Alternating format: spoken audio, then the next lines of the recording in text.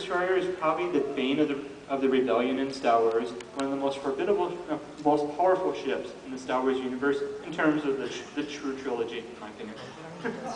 and then you also have, on the other hand, the USS Enterprise D. It's the flagship of the Federation, captained by Captain Jean-Luc Picard.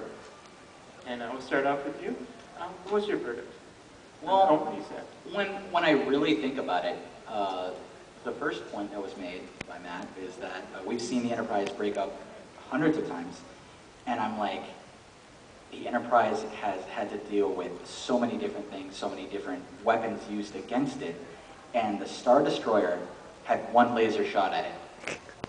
One. One. How bad is your defense system that you have one shot, and I'm not like, it, it wasn't calculated with anything. It wasn't a, a very precise shot. It was like a shot in the dark, praying.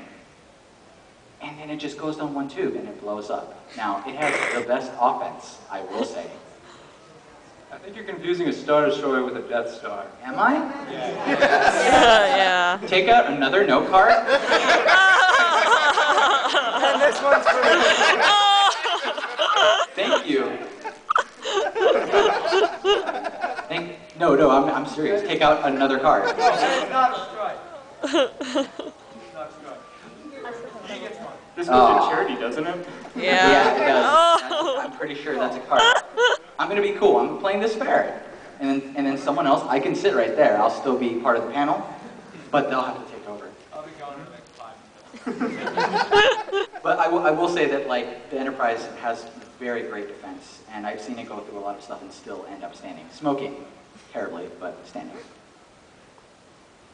Okay, as I said, I don't know much about the Enterprise, but I do know that very, very few people in the Imperial Navy are competent.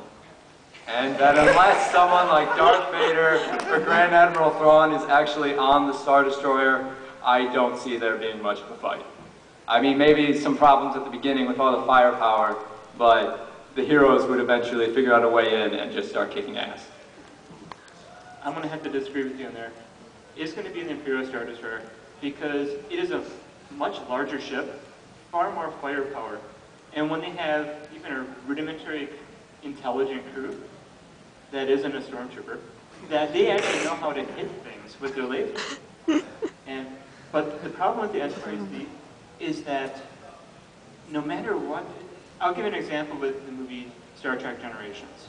I don't know if you're all familiar with that one, but there was a scene where a 100-year-old decommissioned Klingon bird of prey manages to shoot the Enterprise D and destroy it. it they hit its its its engines. The you know the warp coil was about to explode yet again, and it would. In generations, the Enterprise D was destroyed by a decommissioned ship. It's. I think an Imperial Star Destroyer would have a really good chance. And with this, um, I open up to the audience. Um, if one of you would like to, to start off, to come forward with the mic over here. Yep, go ahead. Okay, um, well, with your theory, there's a problem with that. What's that? Uh, there was a decommissioned bird of prey, but uh, really, they just that happened because they improvised Geordi's laser vision, made him walk around the ship for three hours until he went to the engine room, saw the shield the shield modification modulations, like, oh hey, let's modulate it to that and fire and well, of course, it's easy to take down a ship when you just disregard ships. That is true. I'll give you that. It's. Um, I will counter with this though, um, that it's the crew of the Enterprise D, the flagship of the Federation. I would figure that either Geordi or Data would have figured it out. Just- but, you know, sorry, go ahead. just to add to that, it's like, I, I love, I love next gen, but 80% of the plot devices are stuff that goes wrong with the Enterprise. Like, what does that, what does the maintenance record look like? Do they have like separate rooms on the ship? It's like, oh, you know, five years ago this went wrong. We nearly had the core exploding. Eh, but you know, that's that could be something to add to the debate. Like, could maintenance be part of the, the weaknesses to the Enterprise that it constantly needs to be fixed? You are right, though. The Enterprise D was destroyed by Lursa and Beethoven. Lursan Praetor, I bet I'm, I know I'm pronouncing it wrong, um, uh, Duras' two sisters. Um, they did manipulate Geordi in order to, it wasn't a fair fight. Only half the ship is destroyed. That is true. So, the other half, the other half survived. but- Yes. This is, the ship is designed to break apart. Anyone else want to come forward? Yeah. And it's okay to bump the line too. Nice, nice. Clutch victory. I'm only gonna make one point. The Star Destroyer fi- fires lasers. Lasers will not penetrate the shields of the Enterprise. All they have to do is beam a oh, torpedo anywhere on that ship. Beam it to the damn bridge.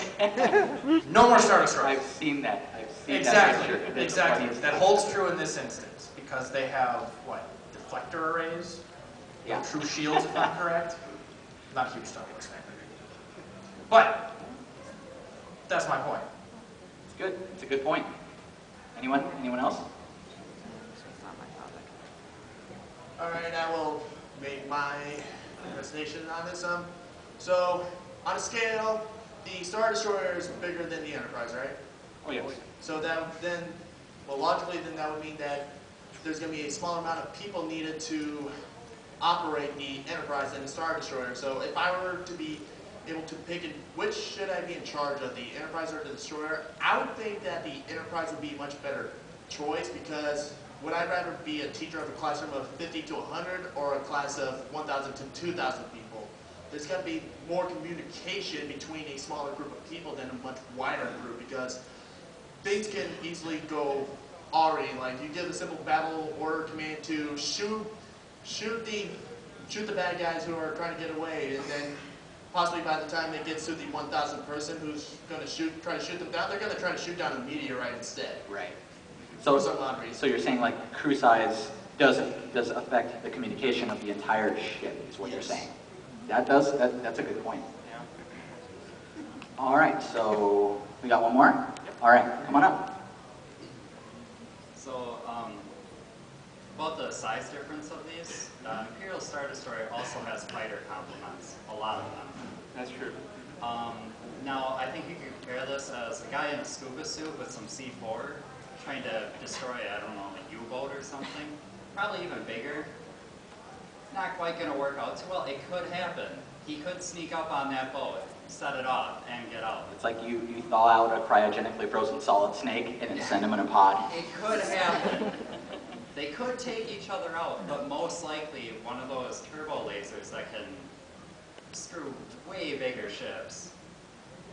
Once that hits, that thing's disintegrated. I don't care if it has deflector shields. Kinetic force is still kinetic force. Yeah, Yeah. I still like that image though. I want to bring up the whole thing about kinetic force, like you just said. I seem to remember in episode six of Star Wars, an A-wing crashing into the bridge of not just a Star Destroyer, but a Super Star Destroyer, and then the whole thing comes crashing down in two minutes. So if they can, if they can just hit that bridge, which is probably just as poorly defended, then they pretty much win, because apparently they have no backup systems in place. It's, yeah, it, that is true. It's, it seems like the, the Imperial Star Destroyers don't have any real shields. Um, however, there was one episode of the Star Trek The Next Generation where a bunch of Ferengi managed to take over the entire ship that was full of its crew. And they're Ferengi. They're, they're like that tall. And, you know, And they bicker, and they're not very good Yeah, at and- communicating in strike teams. entire ship. How drunk was the crew? I will admit. Maybe they weren't drunk enough. Yeah.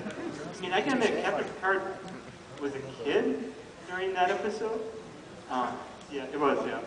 Um, but the fact still came about, it's, you know, if you take Captain Picard out of the picture, the Enterprise is kind of you know, screwed. But Imperial Star Destroyer, um, they can still win without Vader. And then you got Vader in there, too. But have we ever actually seen them win without Vader? Or, for that matter, have we ever actually seen them win with Vader? Oh. That was a low blow, but I will. I will be that one, yeah. Oh, go ahead. Okay, so it's rather well established in the Star Wars lore that Star Wars ships deal with a lot of electromagnetic pulse and similar issues, and so would have to, in order to communicate from ship to ship, simple hailing frequencies, have much, much more powerful hailing frequencies in, in a massive scale, simply to overcome the basic shielding that they need for ion weapons. They don't have this in Star Trek. So one of the best scenarios I've seen play out of this is Star Trek does their normal hailing. Well, that doesn't breach the shields because it's not nearly high enough, you know, what, whatever you want to call it. The Star Destroyer then decides, oh, where are we? We're going to send out a basic beacon to find, you know, if there's any post where we've come through in this imaginary wormhole that's gotten us into an alternate dimension. This basic low-frequency pulse that they send out is strong enough that it completely fries all the transistors or whatever weird technology they use in Star Wars, making it so that no point on the bridge or other place in the ship is able to communicate within itself.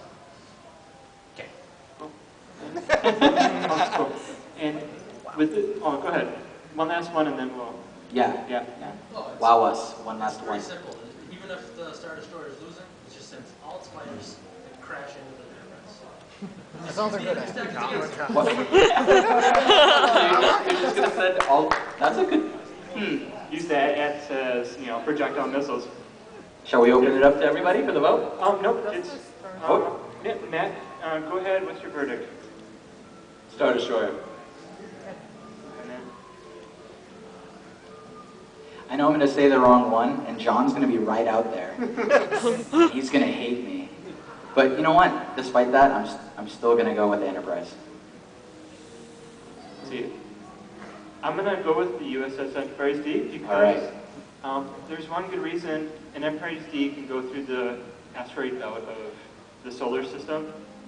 You know, in Empire, Star Destroyers are being destroyed because they're going through an asteroid belt. Uh, so,